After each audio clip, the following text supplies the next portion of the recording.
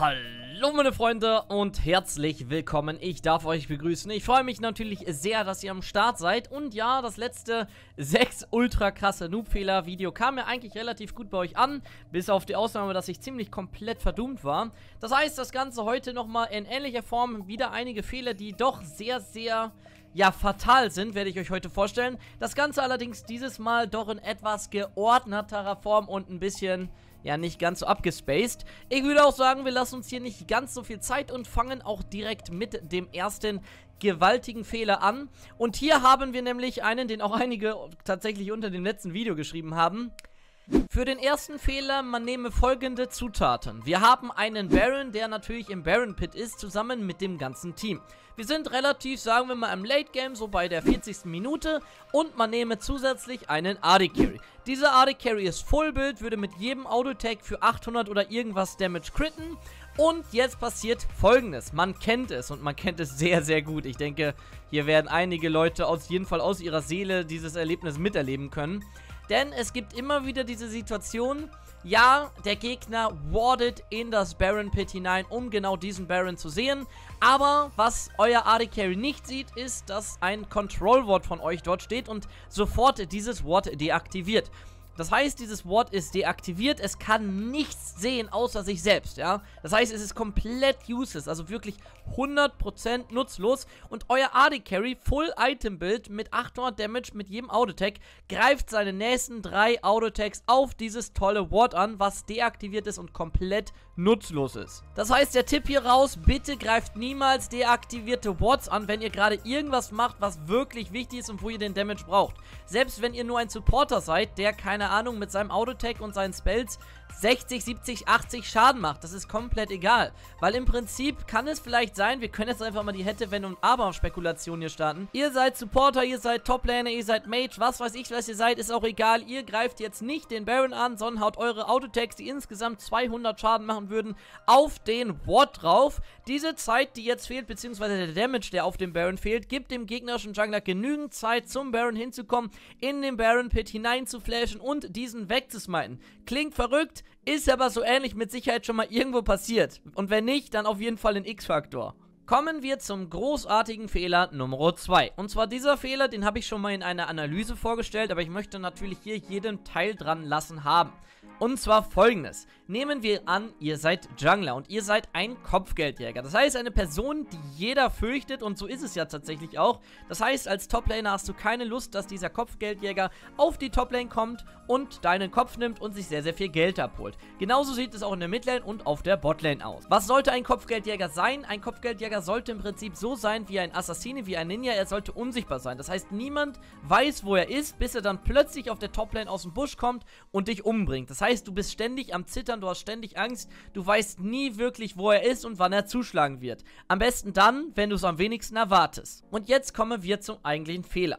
Dieser Kopfgeldjäger denkt sich jetzt, hm, okay, da unten im Fluss, da ist noch ein Taunty, den mache ich jetzt mal ganz fix. Und jetzt, hm, okay, Midlane kann ich nicht ganken, aber über die Midlane zu laufen ist der beste Weg, um in die obere Side zu kommen. Das heißt, in den oberen Jungle oder in den oberen Fluss oder was weiß ich. Und er läuft jetzt einfach so durch die Mitte. Und genau in diesem Moment hat er 30 Quadrilliarden Fehler gemacht. Der erste, und das ist eigentlich nicht der Fehler, den ich euch vorstellen wollte, ist, ihr klaut eure Midlaner XP. Und das bringt mich persönlich so unglaublich oft und hart zum Tilten, weil in der Mitte geht es meistens darum, wer wird zuerst Level 6. Wird der Gegner zuerst Level 6, killt er mich oder er zont mich auf jeden Fall komplett weg. Werde ich Level 6 zuerst, kann ich den Gegner killen oder ebenfalls ihn einfach wegsauen. Wenn der Jungler durch die Mitte läuft, dann klaut ihr euch XP und ihr seid dadurch, auch wenn ihr vorher im XP vorne wart, jetzt wahrscheinlich im XP even oder vielleicht sogar behind. Das zweite, und darauf wollte ich eigentlich hinaus, ist, dass jetzt jeder weiß, okay, hey, ihr seid der Kopfgeldjäger und ihr seid gerade in der Mitte durch Deutschland gelaufen. Das heißt, Amerika oben auf der Toplane kann sich denken, okay, hey, der ist gerade in Deutschland, ich habe jetzt noch locker 10 Sekunden, ich habe jetzt noch locker 15 Sekunden und kann hier irgendwas betteln. Oder im schlimmsten Fall, unten auf der Botzeit, Papa Neuguinea, die denken sich so, okay, der ist gerade in Deutschland, der läuft gerade oben nach Amerika, das heißt, wir haben jetzt 300 Jahre Zeit, unten auf der Botzeit übelst aggressiv zu spielen, den Gegner unter dem Tower zu pressure, den Tower vielleicht einzunehmen, die Gegner zu traden, ohne dass überhaupt die geringste Gefahr besteht, dass dieser Dude hier ankommt.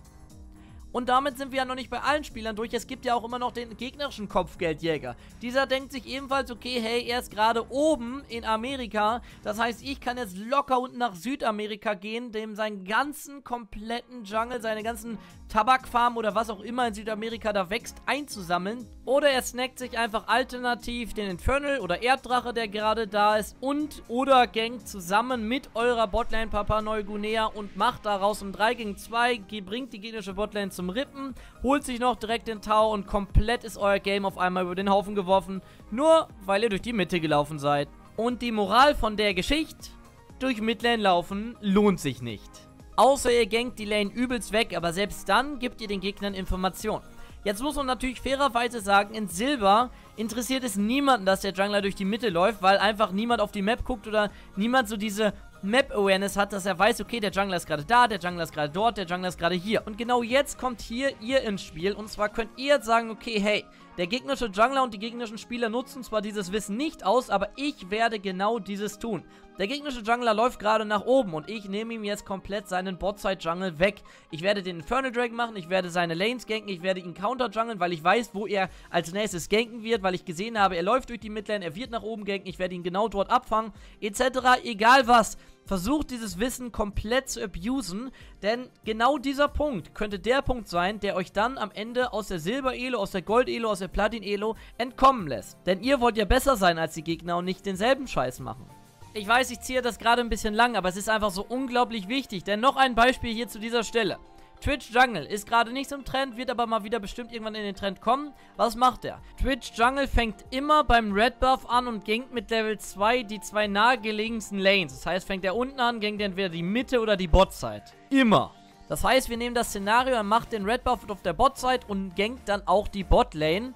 Was heißt das? Genau, er ist mit einem Buff, dem Red Buff, den man sehen kann, auf der Bot-Side mit Level 2.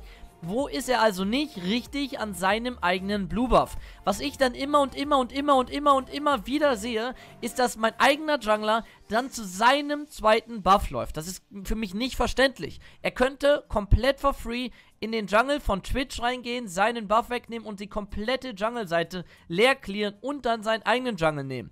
Wenn der gegnerische Twitch diesen Gank machen will, der ist High Risk, High Reward. High Risk in dem Sinne, dass er komplett normalerweise seinen kompletten Jungle verliert. Level 2 Ganks sieht man aktuell relativ oft. Das heißt, gankt jemand mit Level 2, cleart seinen kompletten Jungle weg. Klar soweit?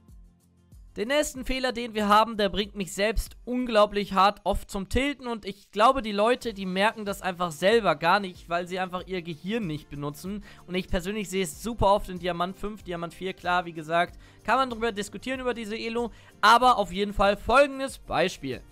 Objectives auf der Map sind alle gerade weg und ihr habt einen Inhibitor verloren. Das heißt, ja, die Super Minions in der Mitte pushen rein, ihr habt relativ wenig Vision, ihr seid in der verteidigenden Situation. Das heißt, ja, es ist alles relativ gefährlich, aber immerhin sind keine Objectives da, die ihr verlieren könnt. Nur die Mitte der Inhib ist weg, auf der Topside und auf der Botside ist noch mehr oder weniger alles im Lot.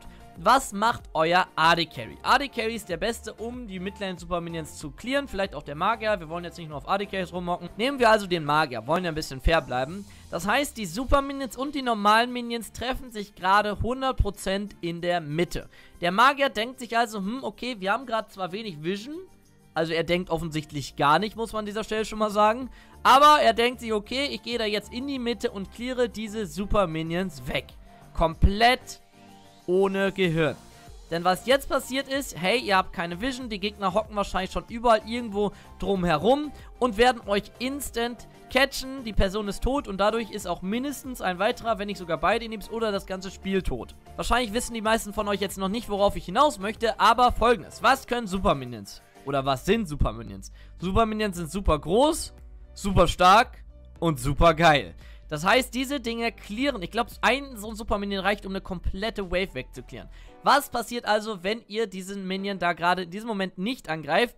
Richtig, der cleart eure gesamte Wave weg, was erstmal natürlich geil ist, weil der Gegner dann Gold verliert.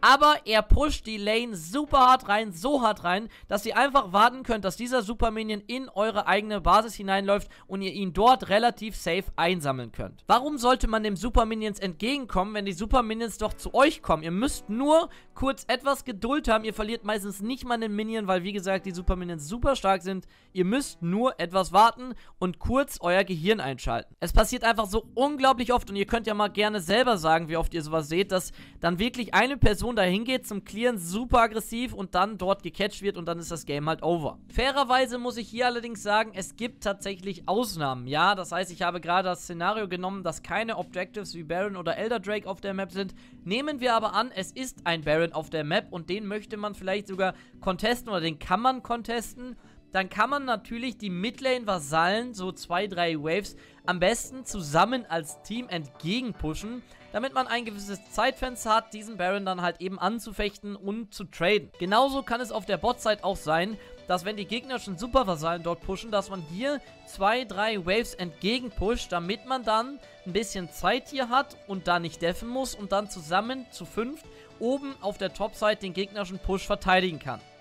Das heißt, ja, es gibt Ausnahmen, aber es gibt einfach zu oft Situationen, wo es nichts auf der Map gibt und sich irgendjemand dann waghalsig in die Mitte stürzt und stirbt. Ja, das war's dann auch erstmal wieder mit meinen Tipps. Ich hoffe, die waren auch wieder lehrreich und haben euch irgendwie so ein bisschen erleuchtet, ein bisschen weitergeholfen im Spiel. Wichtig ist natürlich auch immer die richtige Einstellung. Natürlich kennt jeder von euch diese Fehler und niemand macht diese Fehler. Aber über seinen Schatten zu springen und sich einfach da mal ein bisschen mit zu beschäftigen, über die Map-Awareness etc., das ist das Wichtige und das macht auch den Spieler zu einem besseren Spieler. Nur die Spieler, die sich wirklich selber eingestehen, dass sie Fehler machen, die werden auch wirklich besser.